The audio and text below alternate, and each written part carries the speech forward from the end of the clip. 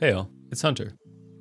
In this video, I'm excited to show you how we've made adding search to your Framer site as easy as dropping in a component.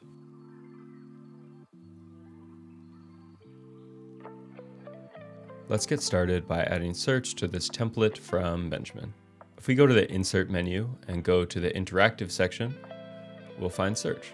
If we drag that into our site, that is actually it.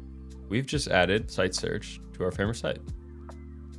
Let's publish our website and see how the searching feels.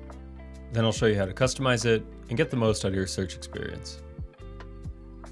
If you go to the publish menu, we'll want to hit update and we'll want to wait until the optimization process is finished because that's when Framer generates an index for our site to prepare it for searching. Once our site is done optimizing, we can open it up and give searching a try. If we click the search icon, you'll see we have animations built right in by default, and we can start searching right away. And one of the best parts about site search is just how fast it is.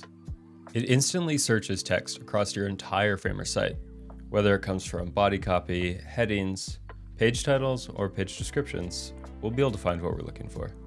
Now let's look at some of the customization options that are available with Site Search. Let's start by taking a look at the scope control. So with our current setup, Site Search allows you to search all the pages on your site. But let's say you only want to search one part of your site or a single CMS collection. This is something we do on framer.com slash templates. This is where the scope control comes in handy. So if we open the scope control, we can select any path of our website that we want to scope the search to.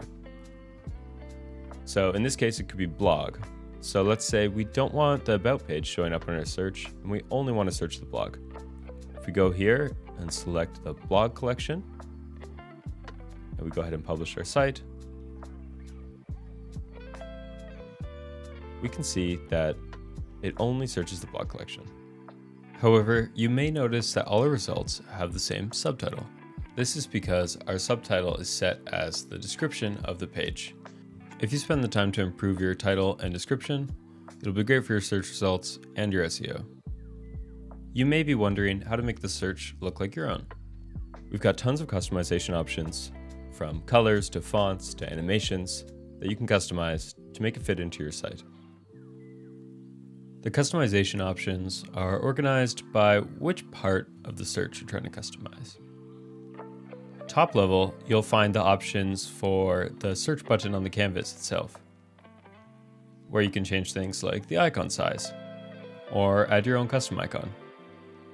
So to update the fonts, I want to update the fonts in input, as well as the fonts within the results for the title and the subtitles. In the subtitle options, you can also change from displaying the description of a page to the URLs, which I'll change now. Within the modal options, you can change the layout of your entire search window to be a sidebar or a fixed top bar. This gives you a ton of flexibility to fit your site's designs. I think I've tweaked it just right for my site, but I'm going to add one more final touch. I'm actually going to make the height animate when the results change. This option just adds a nice little extra springiness to your search experience. Checking out search on our live site is feeling great.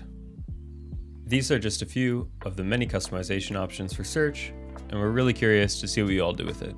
Thanks for watching, and happy searching.